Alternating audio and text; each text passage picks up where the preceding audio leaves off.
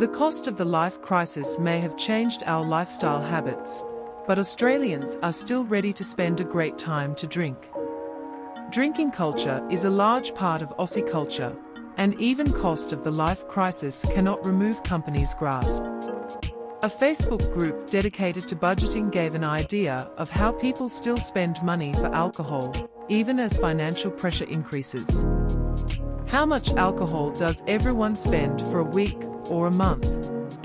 The shipment was rapidly filled with more than 400 comments, and Aussies was very honest about how much they had spent on a drink. Australians spend great on beers. Some said that they were not drinks and they did not spend a penny for alcohol, and the majority showed that the habit cost a weekly change.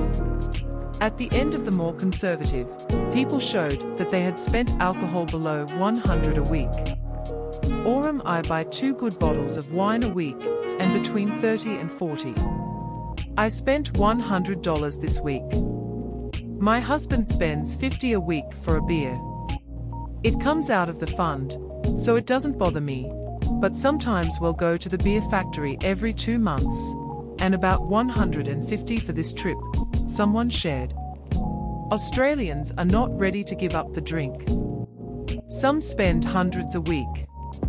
Nevertheless, it wasn't just those who spend small. Some Australians admit hundreds of alcohols a week. This is more than the average amount of people spending at 167 every week. Weekend is connected to the plans of our weekend plans, but between us may vary between 200 and 400 per week, he wrote. My wife spends anywhere between 100 and 50,300 a week, she shared. My husband and I spent about 300 a week, but we pampered ourselves with the top shelf, he wrote. I and my wife $350 a week, and more in the beers in public. So for a month, 1400 and probably more. The warmer months can easily be $350 per week, and colder months, maybe 200 per week. My wife spends 200 400 a week and weekend, good the grass drink a beer, clean car beer.